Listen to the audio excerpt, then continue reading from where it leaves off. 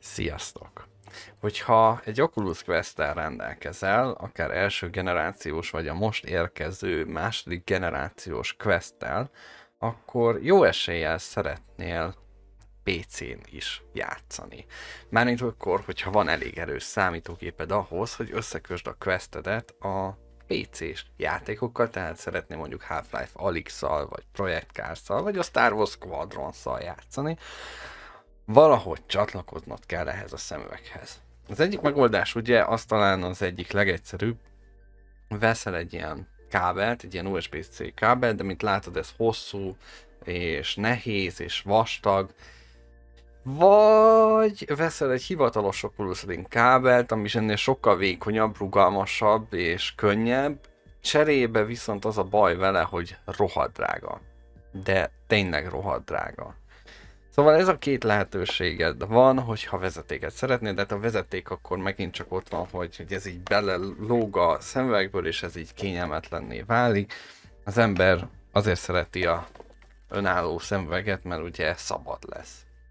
Van egy másik lehetőség a szabadságra, ami a vezeték nélküli megoldás. Ugye a Quest az egy Wi-Fi-t támogató eszköz, és a vezeték nélküli csatlakozás bár hivatalosan nem támogatott, de meg lehet azt csinálni, hogy a számítógépednek a monitorát, illetve a gépeden futtatott játékokat, mint mondtam, Squadrons, Alyx, meg a, akár a Bombworks, simán lehet futtatni Questen a Virtual Desktop nevezetű alkalmazás segítségével.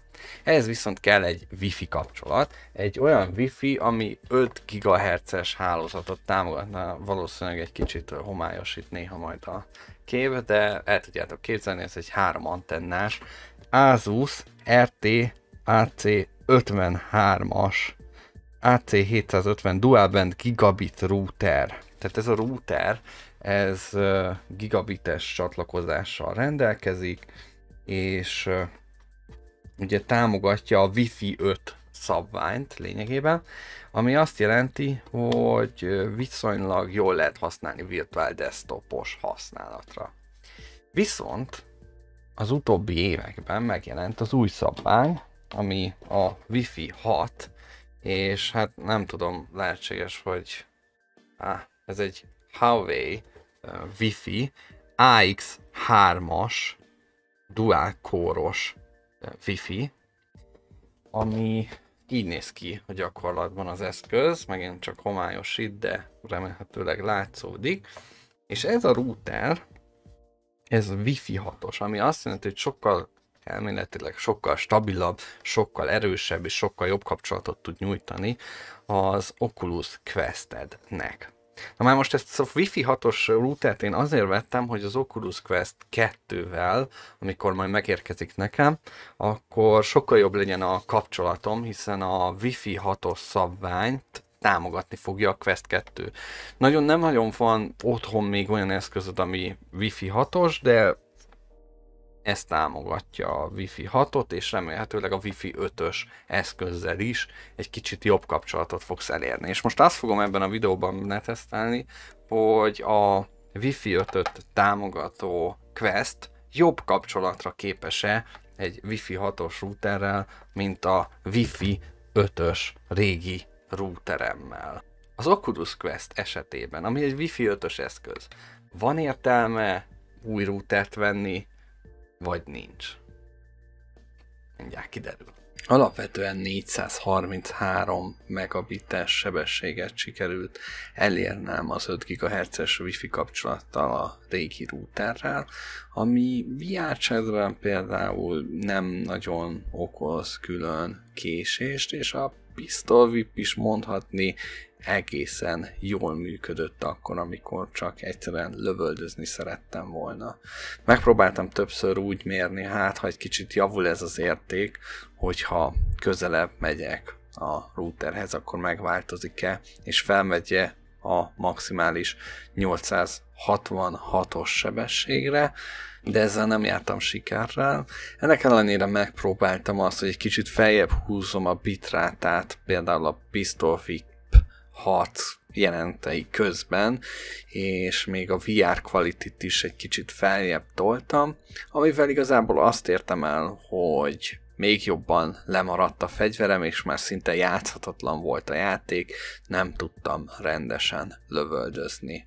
Természetesen most, amit láttok felvételeket, azokat ülve csináltam, miközben teszteltem, tehát azért is ennyire gagyi és lőnek le folyamatosan, nem azért, mert ennyire rossz lett volna a quest eredménye, inkább a képminőséget nézzétek, hogy mennyire esett szét a pixelekre úgy az egész.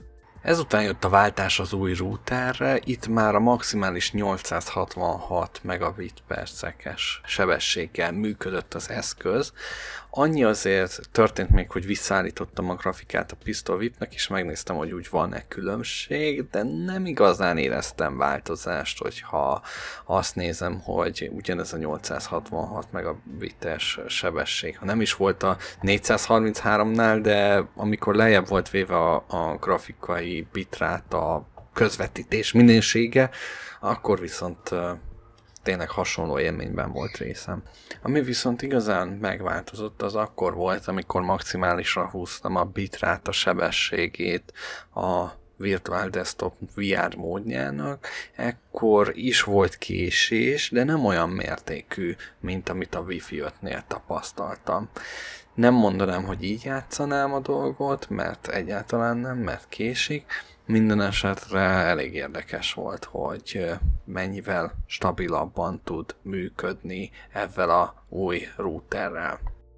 Ez volt tehát a villámtesztje, az egyáltalán nem tudományosan megalapozott és lemért és kimért villámtesztje a Wi-Fi 6-os és a Wi-Fi 5-ös routeremnek. Kíváncsi vagyok, hogy ti mit gondoltok, megéri-e emiatt a váltás. Én úgy érzem, hogy egy kicsit jobb lett és stabilabb lett az élmény. Az biztos, hogy sokkal nagyobb sebességet mért nekem a Virtual Desktop Wi-Fi 6-tal, mint 5-tel, tehát elméletileg mindenféleképpen jobb eredményt tudok produkálni, már Oculus quest is.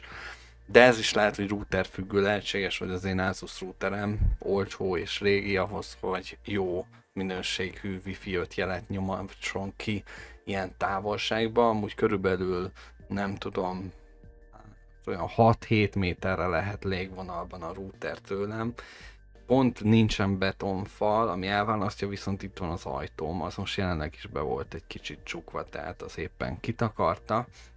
Szóval így, így volt ez most az a Wi-Fi 6-os teszt, itt most a Pistol vip a legvégén. Hogyha érdekel titeket, hogy melyik routert vásároltam, akkor a videó alatt ott van a leírásban a link, ahol ugyanezt be lehet szerezni és elméletileg ugye idővel azért a Wi-Fi 6 nagyon-nagyon sok eszköz le tud egyszerre kezelni, tehát nem lesz az, hogy nagyon sokan csatlakoznak a hálózatra, és emiatt te nem tudsz jó VR élményben részt venni, mert nem lesz jelentősége annak, hogy ki csatlakozik a Wi-Fi-re, és hányan csatlakoznak. Egy háztartáson belül nem lesz jelentős leterheltsége, és emiatt sokkal jobb élmény lesz majd a VR akkor, hogyha tényleg nagy a család, és mindenki a telefonját nyomkodja, és egyszerre néz Netflix, Youtube-ot, és még közben felhőben játszik is. Szóval a lényeg az, hogy mondom, ez nem egy tudományosan megállapított teszt, nincsen semmilyen mérés, vagy bármi, amit csináltam volna. Kíváncsi leszek majd a Quest 2-vel milyen eredményre jutok, de egyelőre ez az, amit kisajtoltam belőle, és tűnik, hogy nem lesz rossz. Köszönöm szépen a figyelmet!